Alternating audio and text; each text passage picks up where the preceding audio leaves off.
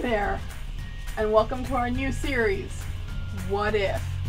Where I asked that question and we found out the answers of different kinds of experiments. What if I take a sandwich bag full of water and a pencil and poke it?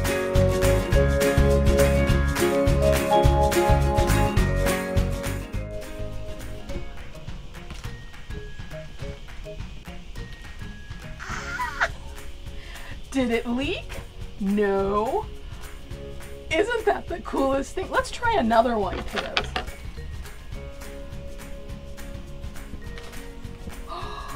it worked.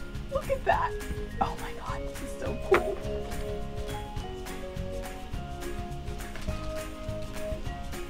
Three. I wonder how many we can get in there. But for right now, we're gonna have three.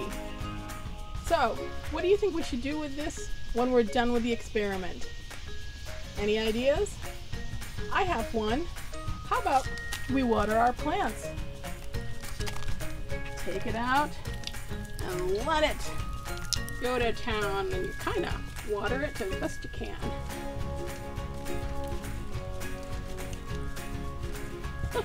You're helping the environment and you're not wasting water. Thanks for joining me today, friends. We'll see you next time on What If?